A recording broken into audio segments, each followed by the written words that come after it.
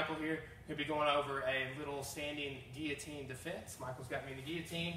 I'm gonna throw my arm over his back here, and I'm gonna frame his hip or sometimes his knee.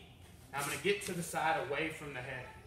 Okay, so where that head's control, I'm gonna get to the other side. I'm gonna take my knee and put it on Michael's knee, and I'm going to bump it. That's gonna make his knees go closer together, and he's gonna fall off of that as I go down here. This oftentimes he holds the choke. I'll get what we call a shoulder choke, or often known as a von Flue. Okay, or I'll use this to transition to like my hip wrap. so one more time.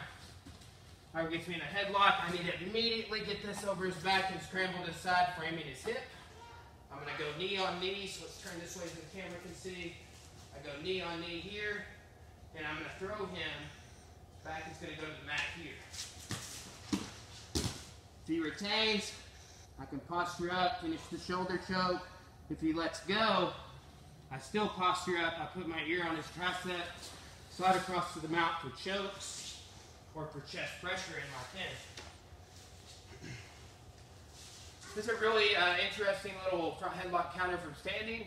Awesome takedown, and it goes into some cool chokes once you hit the floor. So that's a really good standing option for front headlock defense. Thank you.